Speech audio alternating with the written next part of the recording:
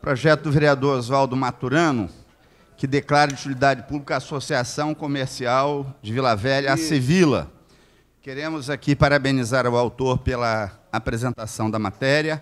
É justo a aprovação é, em, da declaração de utilidade pública em relação à Sevila. Quero homenagear aqui a presidente da associação, a Cristal Carvalho, uma grande empreendedora dessa cidade, sempre presente nesta Casa de Leis e na vida da cidade. Relato pela aprovação. Como voto o vereador Miri Montebeller? Com relator. Como voto o vereador Valdir? Com relator. Senhor presidente, devolvo a mesa. Três votos a zero. Aprovada a matéria.